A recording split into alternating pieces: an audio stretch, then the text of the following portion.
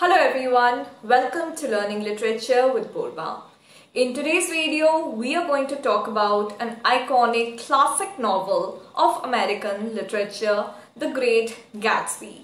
We are going to look at the important characters of the novel, the detailed summary, and also we will critically analyze the novel that why it is called The Great Gatsby. So if you haven't yet subscribed to my channel, then do subscribe to it and hit the bell icon so that you never miss an update. The Great Gatsby by F. Scott Fitzgerald was published in 1925. It is a modernist novel set in the Jazz Age. Now I have already made a video on the Jazz Age and the Roaring Twenties. So please do watch the video so that you can have better context. Now before we look at the detailed summary of the novel, let's first take a look at the important characters of the book.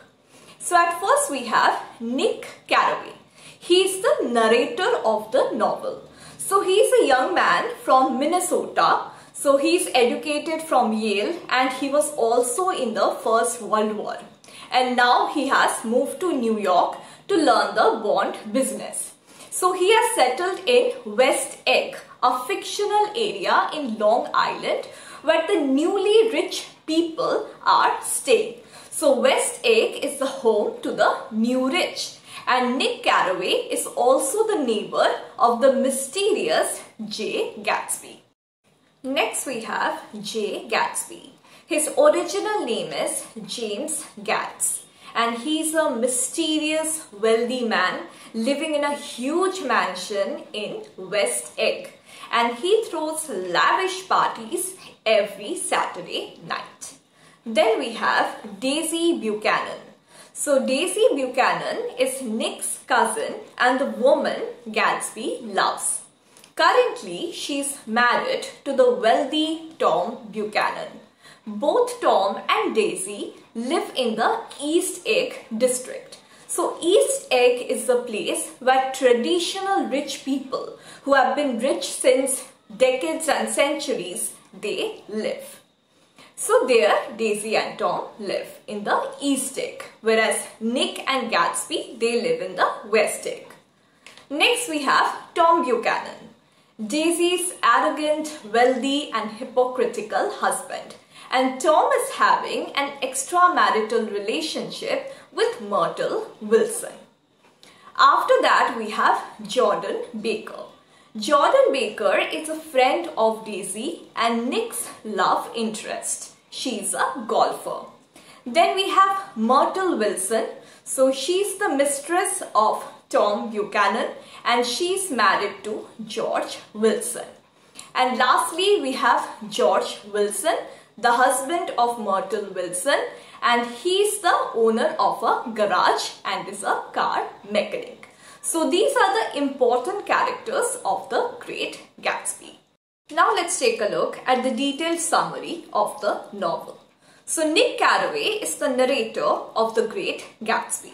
When the book begins, we see that Nick has moved to the West Egg district and he wants to make his fortune as a bond salesman. Now again I will repeat that in West Egg district the newly rich people live whereas in the East Egg district the traditional rich people live. And the wealthy neighbor of Nick Carraway is Jay Gatsby. So he lives in a huge gothic mansion and he throws lavish parties every Saturday night. Now one day, Nick travels to the East Egg district to meet his cousin Daisy Buchanan and her husband Tom Buchanan. There he also meets Jordan Baker, a professional golfer. Now Nick gets to learn something about Daisy and Tom's marriage. Jordan tells Nick that Tom has a lover, Myrtle Wilson. Shortly after, Tom introduces Nick to his mistress, Myrtle, a middle-class woman whose husband runs a modest garage in the Valley of Ashes. Soon, Nick gets an invitation to Gatsby's party and he attends it. There he bumps into Jordan Baker and Gatsby himself. Gatsby is a wonderful and gracious host, but he likes to stay detached from his guests. He's like an observer in his own parties. He likes to call everyone old sport. And in that same party, Gatsby also talks to Jordan Baker alone. Soon, Gatsby and Nick become friends. Nick and Jordan also begins to see each other on a regular basis. One day, Nick and Gatsby travel to the city and there they meet Meyer Wolfsheim, one of Gatsby's associates and Gatsby's link to organized crime. So you have to understand that the reason Gatsby is so mysteriously wealthy has a lot to do about his connection to crime. He's definitely, he has made so much of money by selling things that are not legal and stuff like that, which was a common phenomenon in the roaring 20s and the jazz age. On the same day, while having tea with Jordan Baker, Nick learns that Gatsby is in love with Daisy. Gatsby had met Daisy years earlier when he was in the army. They were in love, but they could not be together because Gatsby was not rich. Now Gatsby has made all his fortune with the only aim of winning Daisy back. He started hosting these lavish parties every Saturday night so that one day Daisy will attend one of his parties. That was his hope. But obviously that did not happen. Now Gatsby wants to meet Daisy face to face. That's why through Jordan, Gatsby asks Nick to invite Daisy to his house so that Gatsby can meet Daisy. So Gatsby and Daisy are supposed to meet at Nick's house. The day of the meeting arrives. The former lovers, Daisy and Gatsby, at first they are very nervous, but soon they start feeling very comfortable around each other. And then the three of them, Nick, Gatsby and Daisy, they move the party from Nick's house to Gatsby's house. Gatsby takes a lot of delight in showing Daisy his huge gothic mansion and all the decorated rooms. And Daisy also enjoys the beautiful house that Gatsby has built. Soon, Tom and Daisy attend one of Gatsby's parties. Tom spends his time chasing women, whereas Gatsby and Daisy sneak over to Nick's yard for a moment's privacy.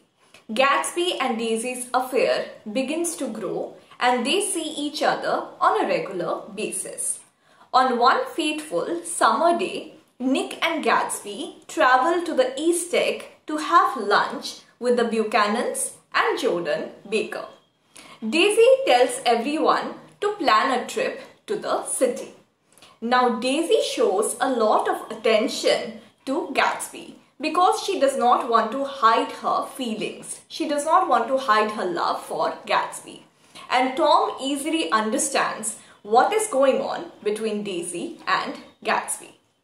Tom, Nick and Jordan drive in Gatsby's car whereas Gatsby and Daisy drive in Tom's car. Now because the car is low in gas, therefore Tom stops the car at George Wilson's gas station and there he sees that Wilson is not well. Just like Tom, who has learned about his wife's affair with Gatsby, Wilson has also learned about his wife's secret affair. But he does not know who the man is. So George Wilson tells Tom that he has planned to take Myrtle away from that place, which makes Tom very unhappy. The group ends up at the Plaza Hotel. Tom questions Gatsby about his intentions regarding Daisy. Gatsby declares that Daisy has never loved Tom and that Daisy has always loved Gatsby. Gatsby tells Daisy to tell that to Tom that she has never loved Tom. But Daisy does not do that. And when Daisy does not do that, Gatsby then declares that Daisy will soon leave Tom. But Tom understands Daisy far better than Gatsby. Tom knows that Daisy is never going to leave him because his power, status, wealth due to belonging to a traditional upper class family will always win over Gatsby's newfound wealth. Tom orders Gatsby and Daisy to go back home in Gatsby's car and Tom, Nick and Jordan follow them in his car. As Tom's car approaches Wilson's garage, they can all see that some sort of accident has happened. They learn that Myrtle has been hit and killed by a passing car that did not care to stop. And that car seems to have been Gatsby's car. Nick, Tom and Jordan return home. Nick learns that Daisy and not Gatsby was driving the car when the accident happened. But Gatsby confesses that he will take all the blame. On the other hand, George Wilson is trying to find out who is the driver of the car that killed Myrtle.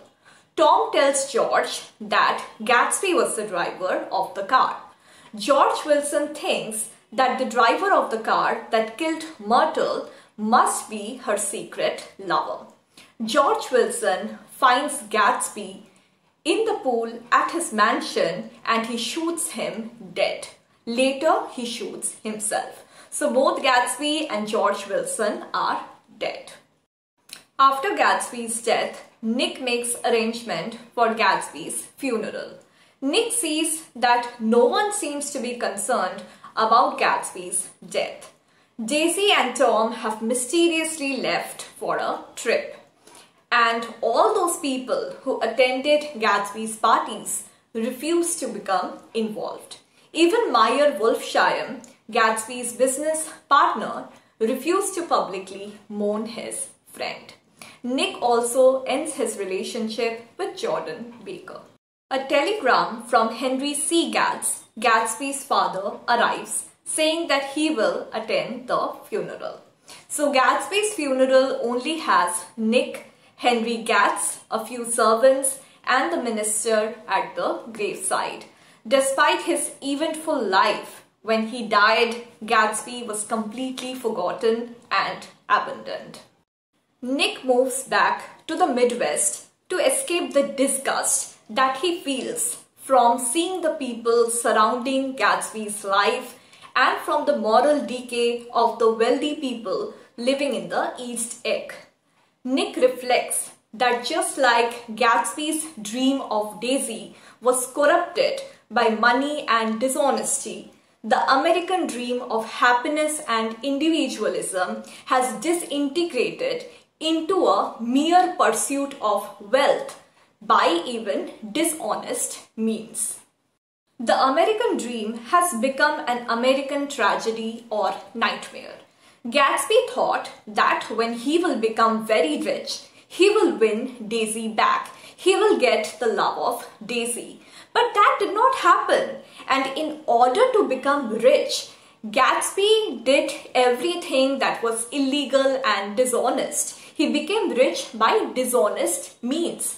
And for the girl that he did everything, he did not get the love of that girl. She was not even present at his funeral. And he was also tragically killed for something that he has not done.